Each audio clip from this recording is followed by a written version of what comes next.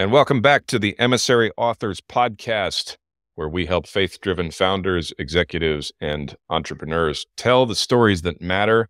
My name is Paul Edwards. Uh, joining me, uh, I'm excited to have on the show my co host and partner in crime, Jason Todd. Jason, great to see you again, my friend. How are you? It's really good to be here. And I am uh, genuinely excited about this author because not only does he have a great book called Rose Therapy but a great message behind it and sort of a, a, a second act to his professional career in, in this idea of selling this book, Rose Therapy and all the speeches that he gives. But also, I think uh, what's really special about Ron is that he was Emissary's first author. Mm-hmm. Uh, so we're excited to follow up with him about a year later since uh, his book came out. So let's get to it. Ron Daniels joining us on the Emissary Author Podcast. Ron, how are you, my friend? Great to see you good. again. Good. I'm good. Welcome to Gadwell Abbey, my rose garden, and uh, thrilled to be out here. Going to be out here uh, this weekend with hopefully three to 400 people. So uh, that we're expecting. And uh, hopefully the weather will hold up. It looks pretty good, about 82 and and partly cloudy. So uh, I'm looking forward to that. That way I get to mix with other gardeners and people and uh, opportunity to sell some books. Last year, I sold 60 or 70 book. I think it's around 60 something books in my open garden. Wow. And, uh, but, uh, it was pretty cool. So I'm looking forward to that because all you know me and Jason, you know, I like to be around people and especially gardeners. They come in here with smiles on their faces and questions. And my daughter, bless her heart, she will not allow me to come into the garden uh, when we have this open garden because of the, uh, she wants me to meet and greet everybody that mm-hmm. comes, which is pretty important. And then a plus, if uh, it's when you have an open garden and you're greeting people, uh, I have to kind of do double duty with my book, Rose Therapy, because, you know, they want that. So I've got people that's going to help me with that this weekend, get their names, their money, and all I got to do is sign them. And uh, so I've learned a whole lot from you guys, mainly about how to do this. And uh, I just been having a ball this past year. And yeah. the book, the presentations I give, it just drives the book. And uh, I'm trying to balance my life with it because, uh, as Paul knows, and you too, Joe, I have passion for this. And uh, when you got a non gardening wife, and uh, it's kind of tough, you have to kind of balance all this. So, all my presentations that I book, I try to put them spread out enough to where I can spend time with my family also. Yeah. Well, if you're if you're listening on the audio version of the podcast, Ron is sitting outdoors in his uh, beautiful uh, rose garden, which I've personally visited. Uh, got the opportunity to tour through it and see uh, just how how uh, how much of a master he is uh, with growing and caring for mm-hmm. roses. And of course, if you're watching on the video, this is the book. You you often see it in my in my background. Now we got two copies of it on the screen. Rose Therapy: My Journey of Growing and Caring for Roses. And uh, Ron came to me in uh, late 2022, uh, and we started talking about this. And, and um, when uh, Jason and I launched Emissary together, Ron was kind enough to be our very first author. So, Ron, I want to start there and go back in time a little bit, and uh, let's talk about how this all came together and what you know what was it that was happening in your life that you decided, you know, it's about time I wrote a book about this, and then uh, you know our mutual friend Aaron Walker put us together. So let, take us back in time to yeah, yeah. Well, I, I, woke up last year and figured out I was an aging Rosarian. uh, so uh, the way I had some great people around me, and Aaron Walker's always been there for advice for me. Not uh, he didn't give me a whole lot of business advice, but he, you know, I, I've always looked up to him. Just you know, just how to treat people. He's just unbelievable how he connects with people. And that's kind of his business if you stop and think about it. And so I trust him so much. So I had a bunch of people, uh, some of my family, my daughter in particular, uh, people that I associate with in Master Gardeners and Rose Society said, Ron said, you do this so well and you explain it and make it so simple that you need to write a, a book uh, on that. And I said, well, I'm no writer. I don't know. I can tell you, I can sit down and show you and tell you, but I, you know, I just, it was all foreign to me. So in November of 2022, I called Aaron. I never will forget it. And I called him. I said, Aaron, I said, I need your advice. He said, well, you know, I mean, you know, I'm here for you. No, he's he's been such a great friend. And I said, Aaron, I said, uh, I'm thinking about writing a book or, you know, recording this stuff I've learned over the last 30 years and been a gardener all my life, but grew roses for 30 years. And Aaron said, Well, Ron, are you doing this for money? I said, No, I've been blessed with a business that I enjoyed it. You know, it's been business for 42, 43 years. It continues. No, I'm definitely not doing it for money. I'm doing it because I want to, I don't want this stuff to be forgotten or buried. And I want to record this. And he said, Well, I got just the person for you. And I said, Well, where does he live here in Nashville? He said, Nope, he's in the state of Washington. state of Washington. I said, How are we going to make that? He said, Ron, he'll make it work. You just get a hold of it. And so uh, that's where it began.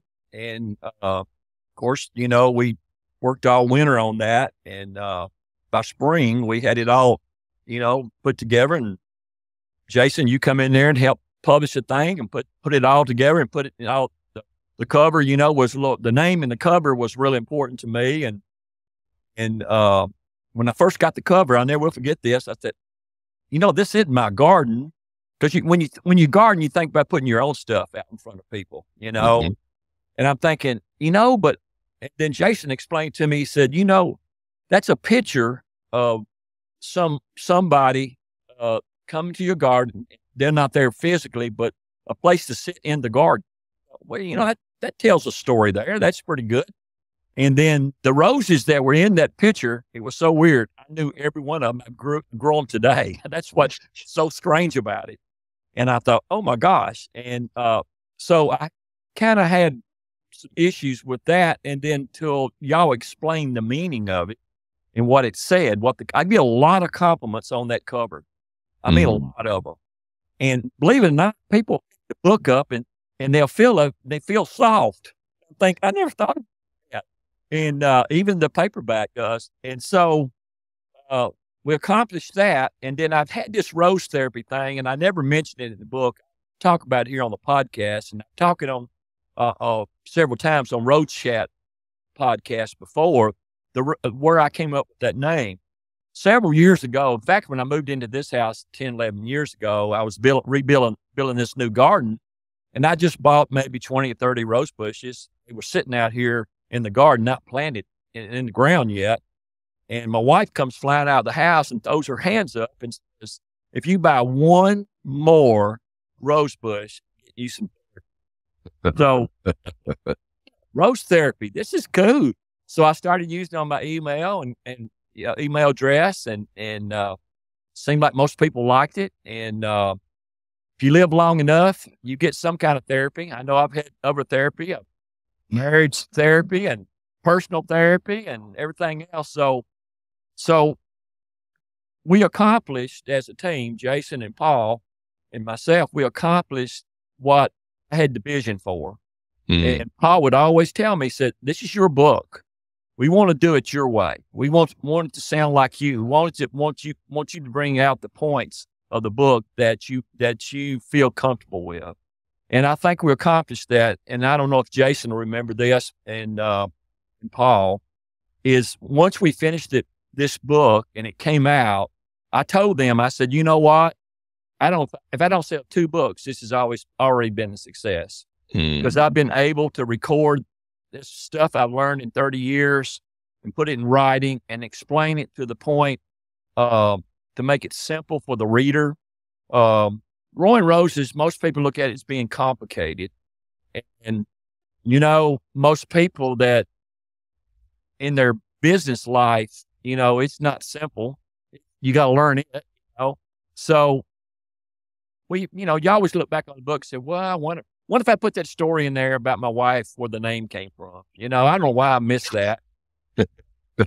Keep peace at home, I think. But if uh, if you if you uh, unfortunately we don't uh, we don't get the uh, the privilege of having Francine Daniels on the show today.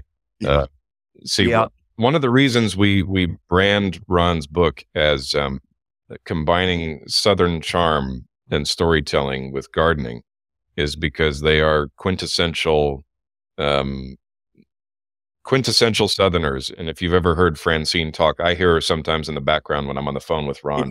Sounds exactly like Like, oh yeah, we were born and raised right in Nashville, Tennessee, and then our all our parents and grandparents they come off the farm. So mm-hmm. I was the first. I was the first child born in a hospital, to put it that way. And so I lived in a household of 1,250 square foot with grandparents and parents in the same home. There were nine of us. Yeah. So I was the first one to leave. I run out of there at 18 and a half because there wasn't room, you know. Yep. But I gained a lot from it. That's where I got a lot of my gardening uh, DNA is from my family. And I talk about in the book and uh, give them credit for it. And uh, for a lot of them, especially my grandparents, it was, it, you know, gardening to them was uh, how they, it was survival gardening. They mm-hmm. wasn't doing the fly. My, my grandfather appreciate what I do, but he would probably laugh at it. He said, can you eat them? I said, well, no, not, yeah, you really can. You, there's a whole recipe on using roses in recipes, but, uh, a whole book on it, but he, he would kind of laugh at it. Uh, my father was more into perennials, and that's what roses are. And he grew more flowers, but he had a garden too. But uh, my background is so poor. We were very poor. And well, we really were rich because I had a lot of, man, I had great, my grandparents was great to be around because they taught me one thing that they come through the depression years and they taught me one thing that a lot of kids don't learn today. And that's to be content right where you are today. Yeah. Be happy. And my parents were like that, but my grandparents were, they were like on steroids with because they didn't waste anything and, uh, that everything had a purpose. But gardening was our focus in our family because we had a huge vegetable garden. My dad had a huge uh, perennial garden. And he grew a few roses and he lived long enough to see me get into this. And he said, Well, he said, I don't know how you do it. I couldn't do it. He said, but, but really his teaching and other family members' teaching led me to this, with which I talk about a lot in the book about mentorship, how strong yeah. it is. And still, when I do my presentations to this day, I tell them, I describe the book this way. The book, I tell you in the book how to, how to grow roses and pitfalls, but I also will tell you about membership. And then in the book, I talk about sharing this information and my garden, which I'm doing this weekend, uh, and, uh, mentoring, mentoring people. I try to mentor a couple, two or three people a year at, at some level. And some of them, I had a girl come in here last year in my open garden and she walked in the gate. She said, Mr. Daniels, I've been following you for a year and a half and never met you. And I said, How'd you follow me? And I didn't really have a good Facebook page. Well, I had a Facebook page, but I didn't have a lot of good. So I just followed you on on PBS stations, on a volunteer gardener, and some of the local stuff you've done at the lawn and garden shows. I've been to your workshop. She never introduced me, but she learned how to grow roses by just by that alone. Mm, and yeah. she come to my never been to my garden. She she got here the garden started at 10. She was here at 9.15. and she bought the, my first book here in my garden. And I've got a picture of her. And uh, of course, this is the book's already written, of course. I couldn't put her in there, but I got her in my presentations. Yeah. So I tell people this lady here learned uh, just by following me, you know. And mm-hmm. uh, so, uh, and I never will admit that girl. She she she lived thirty something miles south of here.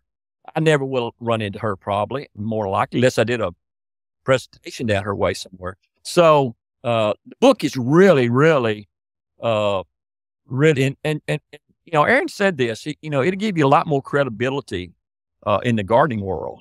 Yeah. And I, I can sit here the past year. I mean, I made that trip to Florida for two months to stay with my nephew, and I booked seven presentations down there myself. And it was it don't matter where you at. The book is is good no matter what. Mm. And as you know, Paul, I don't know, I don't know if Jason said, I got a great review from ARS, uh, the American Rose Society, yep. by a lady I have total respect for. It's been growing roses for 40 years. So if she gives you that kind of review, it means something. And I didn't mm-hmm. ask her to do it. ARS asked her to do it. And, uh, and Paul, you know how long we worked on that. We worked on that over a year to make that happen. Yep. And, uh, yep. I don't know uh, yet how it's going to affect. We're doing the advertising in there monthly now, every two months, you know, monthly, and I don't know how it's going to affect sales or whatever, but I'm getting the message now out in the United States. Oh, between eight and nine hundred rose societies and stuff like that. So and we have about 10 to 12,000 members in the American Rose Society that are members. So hopefully uh, it'll get out there and, uh, and a good barometer is the emails I get and the invitations to go speak, you know, and, and uh, now, now I've got to speak. I've got to, I'm going back to a place I went, didn't have the book over a year and a half ago up in Owensboro, Kentucky at a, the Western Kentucky Botanical Gardens. They restored old rose garden.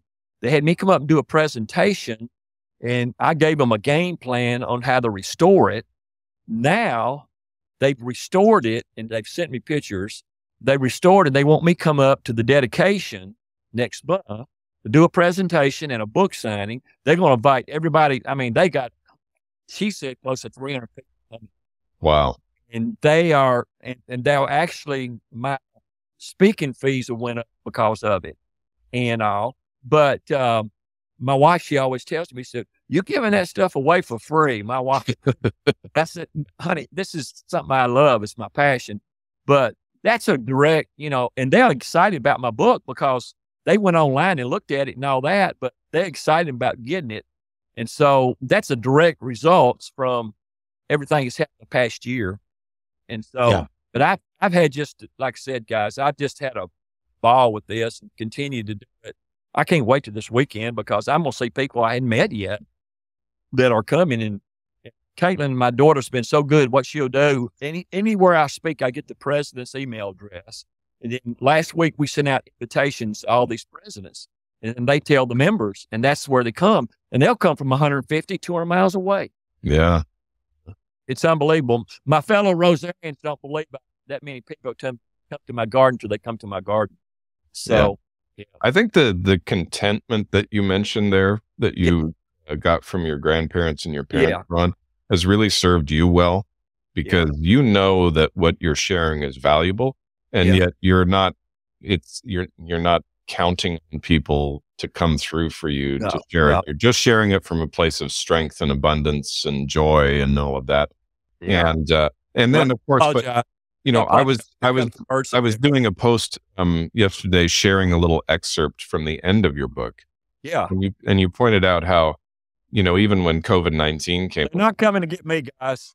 Yeah, the the police in the background. We got um, a construct we got a construction site up. That's probably my son in law. They got construction guys up here and they fall off the roof up there about every other day. Oh wow. Okay. All right, guys. Sorry. No, but I was going to mention during COVID, right? You yeah. you had a place to be outside, and everybody else was huddled indoors. That was the, the excerpt I was sharing from your book. Absolutely, yesterday. my wife went stir crazy, but had a place to go where it was safe, and uh, I, I, didn't have to think about it. Had to get into it. Um, and then a lot of my fellow gardeners had the same thing. We all talk mm-hmm. about the same thing about how it was a good. It was. Huh, it was good therapy to be in the garden during the pandemic. And all and in, and in the gardening world, oh my gosh, everybody, the nurseries business boom. I mean, they sow more, they run out of plants.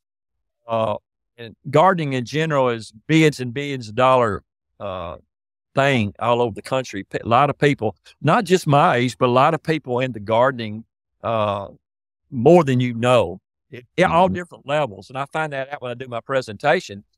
And, uh, but the whole thing about when I do my presentation, what really, really gets me is when I, when they, uh, send me a picture of a boat, they maybe buy three or four roses. They cut a bouquet and bring it and put it on their table and take a picture of it and they email them to me. And you know, then that they've kind of got the bug, you know, yeah. they've seen the results of this. And then then I get a bunch of them all the time where say, you know, I never would uh, grew roses if you hadn't made it sound so simple. but really, being a American Rose Society consulting rosarian, that's what we're supposed to do. We're not supposed to make everything complicated. The most complicated thing uh, I talk about in the book is pH. Yeah, it's important in growing everything, and and soil. I mean, them two things are very important. And uh, but I don't get into breaking down the soil I don't get into, I talk about organic and inorganic fertilizers. I think if you don't keep it simple, people are not going to take the hobby up. Yeah. And uh, I've learned about gardening in general and hobbies in general. if you don't have success on the front end, you're going to the next thing. Yeah.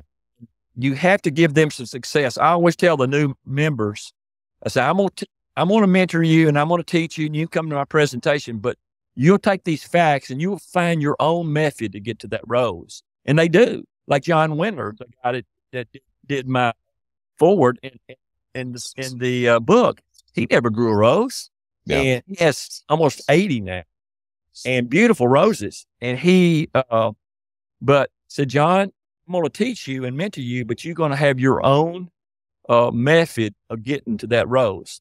Yeah. And, and, I did. I had a great mentor, but I took some of his stuff he taught me. And, uh, and you got to understand this hobby is changing. The roses are changing. Uh, the fertilizers are changing from every now and then, and the methods are changing according to where you live and what zone you live in. So, so then there are other things, Ron, that are not changing, and in a, in a good way, right? Because what you Yeah. talk about in the book is timeless stuff. Like you got to find a mentor, yeah, and you got to find an outlet, like you did with uh, the the weddings and the floral ministry, Yeah, church, you yeah. go to right? It's like you know, use- you're growing the roses, but what's Yeah. really happening is you're building these pathways of connection with people that is just yeah, it's it pays dividends like. Uh, if. I write another book, it's going. I mean, it's going to be the cause and effect of that ministry. Because, uh, I mean, God's put me in the path of like during the pandemic, for instance, and I mentioned in the book. I mean, I mean, I was locked up in this house. My daughter was bringing food to the front door. Of course, I had the garden, which we talked about a while ago, but, uh, but I learned different ways to minister with my flowers. Yeah. I had this lady just called me out of the blue. She said, Ron said, what are you doing? I said, well, I'm out here working in my garden. I got all kinds of roses in the cooler in here. And she said, uh, I've got a ministry I think might work right now. And I said, what is that? She said, well, my daughter's a nurse over here at the local hospital and they're working 16 hours a day. I mean, they really, you know what they were doing back then. Yeah. Said, could you make some up some flowers for them nurses? And I said, well, sure. So I put them together. Of course, I couldn't come in the hospital. I had to deliver them to the emergency room. Can you believe that? I come in the emergency and leave them out there at the sliding glass uh, doors. And I did that for several months. And I got emails and calls from them nurses, people I didn't even know. In fact, this is, I never told you the story, but I got COVID that November and I Oh. went in the emergency room for six hours. Two of the nurses and one of the doctors, female doctors, that took care of me. I had no chest stuff and I had a sinus infection, but I I did have I did have COVID, and they kept me in the emergency room for six hours. My wife couldn't even come in there, and uh, but them ladies received some of my roses later, and I you know I didn't designate them to go there. They just took them and spread them out. So I had opportunities, and Mr. Curtis, who mentored me, said always look. I think that's one of the reasons why he was so successful in this hobby because he always shared them. He Yeah. shared his knowledge. He shared his garden. Uh, he shared his roses, and he taught all that to me. And then in the book, I talk about having a purpose for growing them. And I always tell new growers, I said, you need to find find the kind of roses you like and have a purpose. It makes it easier when you're doing the work part of it yeah uh, know that there's some end results and and uh but uh, uh but like i said there's a lot of opportunity to share information and a lot of people say what do you do in the winter well in the winter i'm teaching Yeah. and, and dreaming about spring you know and the beauty part about being down in florida they're a couple months ahead of us so when i was down there in february they're already getting roses Yep. here i am down here will get my roses to now, the first first week in May or whatever. So it was pretty good. I learned a lot down there, and uh, like I've told you, Paul, every time I do a presentation, I you think you've heard every question, but you hadn't. You learn from them presentations, and that keeps you pretty sharp. Uh, not only doing presentations, but gardening. I'll have somebody come up to me and tell me some stuff that I've been doing this 30 years. I never had no, heard this question. yeah So then we got a lot of people moving here. Well, they're coming back after another construction worker. Sorry, guys.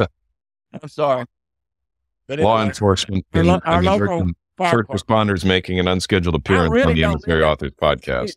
I'm out. Well, what, Paul, I tell you, I'm out away from everything. So we got Mercy Mercy Biscuits coming up here. But anyway, I knew this was going to happen, but that's all right. But that's how that's how that's how social this garden is. Yeah. I have Right. people walk up off the street. I mean, uh, not necessarily an ambulance, but they come up here. But uh, but anyway, it's the book has just been a fun thing to have and do. And I tell you, my wife says, "I love the book." I said, "Why?" She says, "I love it because when somebody emails or calls you, you can say, go to page ninety nine Yeah. and they can read about fertilization. Or if, uh, if you want to learn about some of the ministries, go to this page. Or if you want to see some pictures of Gadwell Abbey, go to this page. So, you know, people like down in Florida, they've never been to my garden, but I had pictures, my Yeah. which I've added. And then at the end of my presentations, I talk, they give me 10 or 15 minutes to talk about my book. And uh, so it, it's just been a total, total, I just had so much fun with and never would dream two or three years ago that this would happen. I just said, you know, no, that's not going to happen. Well, if you told me 10, 15 years ago I was going to be speaking as much as I do, I'd say you're crazy because we all know the two biggest fears in life, don't we? Yeah. Death and public speaking. And my wife's, my, my sons have come to my, said, Dad, Dad, we just know you didn't know you had that in you because I Yeah. never much of that. No. And uh, I did my mom's eulogy and, and they said, Dad, we didn't know you could even do that. Yeah. You know, my boy's a corporate guy. Well, one of them runs my business, and the other's a big corporate guy in pharmaceuticals, and they do a lot of presentations. You know, especially my oldest boy. I said, well, if you got a passion for something and you love it and you believe in it, it's easy to talk about. Exactly. I have to, I have to have people. I designate somebody in my presentation to be the time police because I'll go down some, you know, some stories because I got a lot of them, you know, and but So, uh, so the one other thing I wanted to ask about Ron, because Yeah. we talked about this before, you know, you go into detail. Um, your career was in uh, construction, Yeah, uh, yeah. playground equipment, yeah, and all that yeah, sort of. we're still doing that big time. And you mentioned that having the rose garden was a place to unwind from Yeah, the stresses of construction is a very stressful uh, Right. industry. And then you had this this haven this quiet place of tranquility you could go to. So right. and and what we as we talked about that in some of our uh, sessions uh, i remember jason pointing out you know this is this is something really important because a lot of entrepreneurs like all they do all they ever do is work and they Yeah. don't have a place like that they can go so Yeah. talk, talk a little bit about that Well, uh, I have I have never drank. I've never smoked. I've never done drugs. hmm Uh, I've usually did most of my stress relief when I was younger through recreation ball. I played on travel softball teams and travel basketball teams up to I was 55 or 58. And then my knees gave way and I got two new knees. But uh, yes, the garden, before I even come into the home, when I, it, I've had three gardens, this is my third one. Before I even come into the garden, I'm going in the house when I'd work. And I worked long hours when you first start a business. Y'all got know that. Y'all work a lot. Yep. And, uh, so I was working 10 hour days and I'd come in the house and I had two little boys and, and I'd go through the garden first just to calm down. Uh, construction is uh, real stressful. Uh, mobilization and dealing with uh, contractors and site conditions and it's all kinds of stuff that you can't predict every day. Uh, making sure all your employees are on the same page, you know, and uh, all the things they bring to the table. So it was it was uh, very stressful, and I was very fortunate to get through that period of time to have this gardening because I'd gardening all my life. I seen my dad and my grandparents and, and my mom even she worked some there when I was in high school. The gardening thing was was kind of a stress reliever for them. I didn't talk about it a whole lot in the book, but they they used that. Uh, they wasn't on no meds and nothing like that. So I kind of seen it growing up. So I kind of learned it. My wife, she was the exact opposite. Her her family was like the circus. I mean, they didn't know what they was going to eat at supper because they didn't have no money and nothing. Because everything was, I was very system. My household, because we had so many, we were very systematic in everything we did. So Mhm. I could tell her on Wednesday what we were going to eat, and she'd laugh at it. She said, "You know what you got? Yeah, we're having hamburger steak on Wednesday." it's just like it had to be with that bigger family and one bathroom, by the way. So, but but anyway, yeah, I think that really saved me. And then as I got older, I told my son, this happened 11 years ago. I told him, I said, son, there's one thing you don't say in your last days. And he said, Dad, what is that? And I said, uh, you don't say, I wish I'd worked more. Yeah. You never say that. It's just always going to be somebody take your place. And I've been very extreme. I was going to sell my business, by the way, at that time, 10 years ago. Uh, my son had not been with me 20 something years, but he showed no interest in taking it over. But he did. And really, that's another blessing from the pandemic because he, uh, uh, our business was doing good and he had to, he had to think outside the box to keep the thing afloat. Mm. And with him for six months and help him do that. And I told him, I said, you need, you're going to learn more about yourself in this business during this period of time you did in the last 30 something years here. So, but, uh, we all know I've lived long enough to know you learn life lessons from adversity. Yeah. And that's kind of like gardening. Gardening teaches that. Uh, if you, uh, if you have something go wrong in the garden, I mean, trust me, I talked in the book, every season's different. Yeah. Everything's blooming. Normally this time, at this particular time, I don't have this many flowers blooming. I'm a Mm. week ahead, week to 10 days ahead here in the South. And but every year is different. But, uh, this is my str My wife don't understand it. I'll come out here and work three hours. I'm right out here in the garden. She can see me. I'm not running around playing golf or, or fishing. I've done all that. And, and, uh, but I'll come out here and it's good physical, uh, exercise. It's good.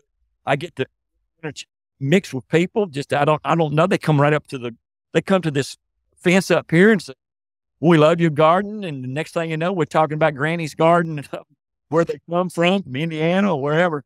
So it's been a good social thing for me.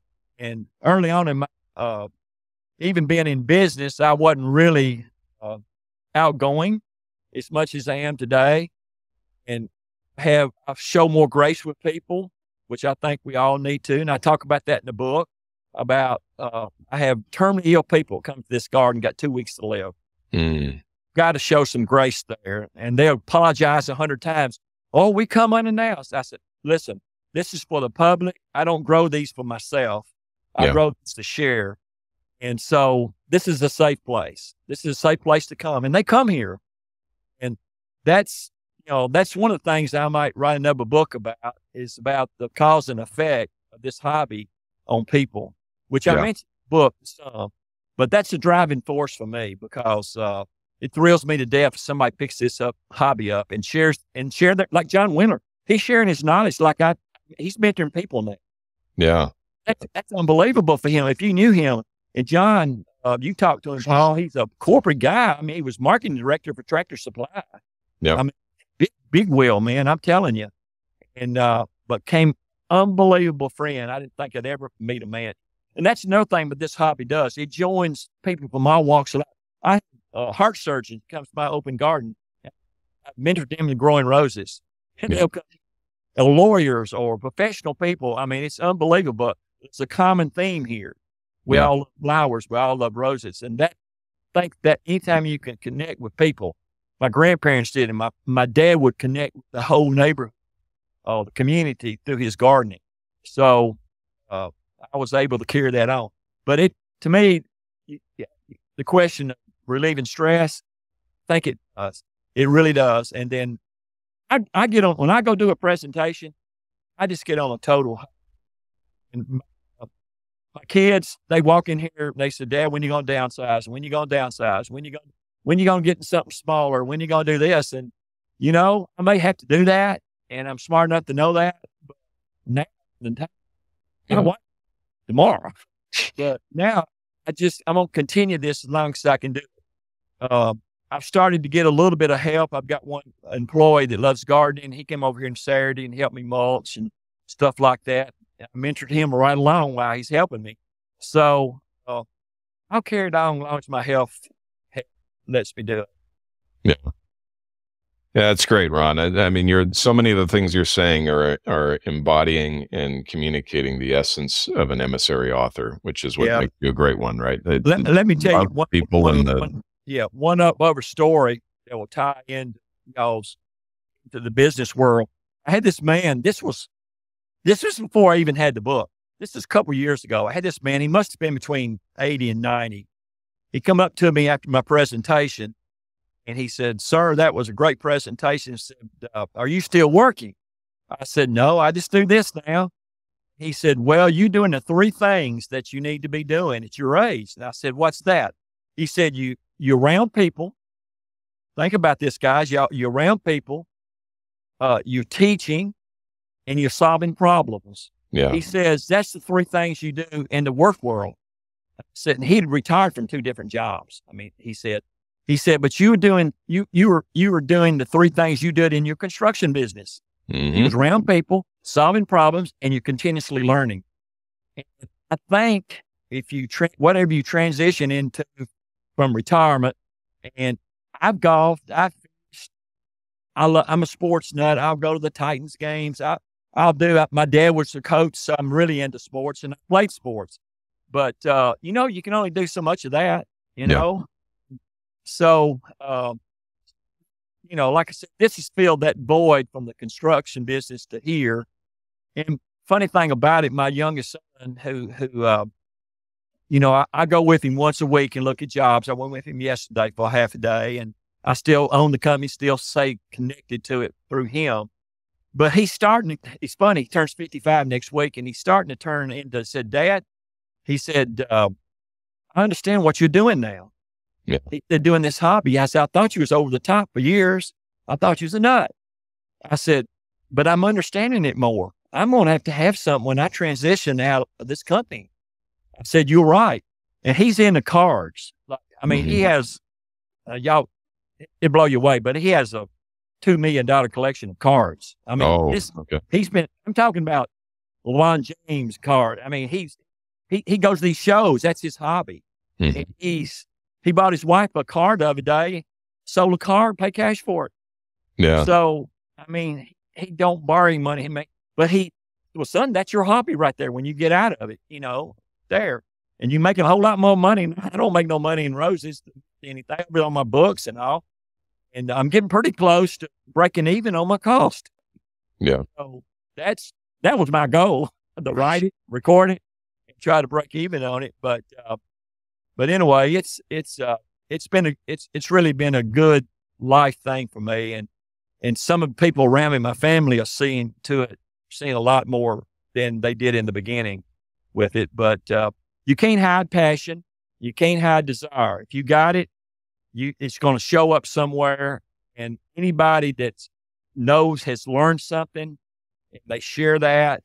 Uh, when I, I go to when I go to presentations myself, and I get a lot of CEUs, I get I go and listen to. I have to put, keep my master gardener certificate. I can tell the ones that's got passion, and the ones that hadn't. Just going through the motions. Yeah. It's easy to find. It's easy to find, and you'll get criticized for it. You'll get criticized for it because they think that's the only thing you are. I mean that that's how you exist.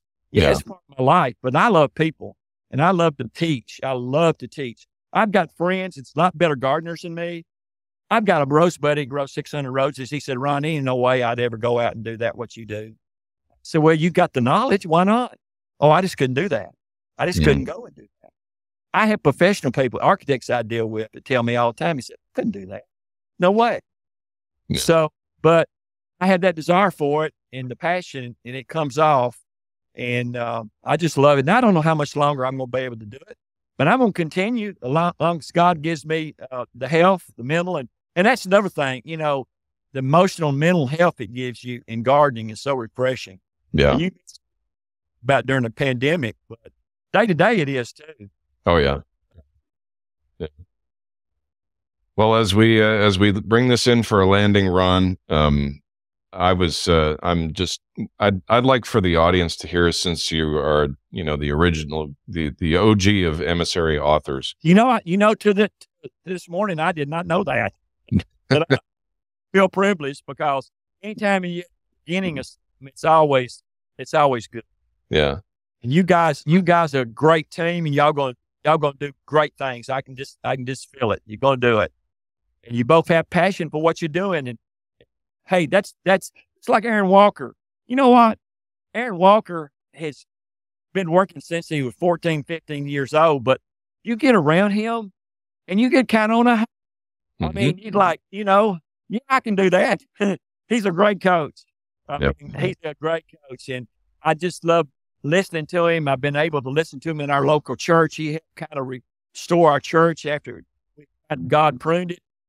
We, he was at the right place at the right time. But he, anytime I've ever seen him, he's always got an encouraging word for me. And that's, you know, we all look up to certain people and he's not perfect. He'll tell you, he'll be the first one to tell you that. But hey, nobody's ever going to accuse him of not having passion. I can tell you that right now. Yeah. He's of it. I'm telling you.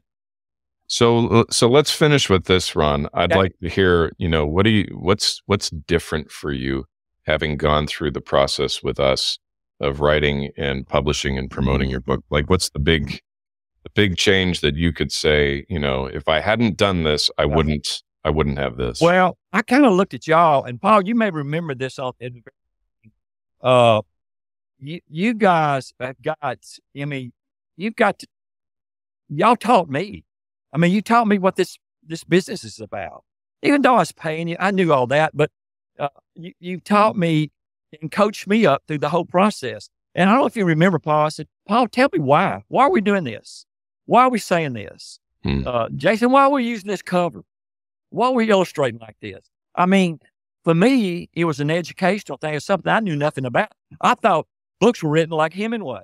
You got a bottle of whiskey and, and went to went to South Florida and got in a house and a typewriter and wrote a book. I didn't know. I didn't know we could do all this on Zoom and and you could interview me all these times and pull this story together. So I learned, try to learn, I tried to learn from it, and I did. And when I'm able to refer y'all to somebody, I halfway know what I'm talking about. Like Larry, you know, I said, Larry, I said, Larry, you need to get this down. I said, this stuff's going, I mean, you've had, my goodness, you've had all this experience. And I wrote a gardening book. I mean, I may change a few people's lives, but what you're doing is, I mean, it's life changing. I mean, Yeah. it is. They need to know what you've been through. And so I think more than anything, uh, you educate, y'all educated me about this, about doing this, about it's not, it's not painful. It's not that painful to go through. I don't have to sit in front of a, a, a, a laptop and write this stuff, every little thing, you know? No. So I think that people look at it like, you know, I have nothing to say. You know, you live long enough, you got a story. hmm Somewhere in there is the story. Y'all, y'all look for it every day. Uh, I like to see you guys do more uh, things that have to do with hobbies. You know what I'm saying? Yeah. Y'all do a lot of business and spiritual books, which I love, and I, I read them. I get something from them. But you know, uh, I think Paul, we talked about this before, and Jason about tra- people transitioning from a, a a career into something other than, you know, playing golf is good and fishing is good. I missed that two or three times, but if you do enough of that, you'll get fat. And I love golf and I love fishing, but they're sitting most of the time. Yeah. So gardening gives me that physically, and I have nothing against people to do that, but you can only play so much golf. You only travel as much as your money will let you. Yeah. So you need something to fill that void. But I think you guys, what y'all did to narrow it all down, through the whole process, y'all educated me. And that's the secret. Just like buying uh, mutual funds. If you don't understand them, don't buy them. Yeah. You know? So y'all, y'all made it easy enough for someone like me, a layperson that never written anything other than a contract, you know, for a proposal or something for a job, uh, to make my, uh, my dream come true, to, to write this book and have this stuff. I got tickled. My daughter, she said, Dad, who you leave that book to? And I said, you, you got, you've got my publishing rights. It's already in my will. Mm.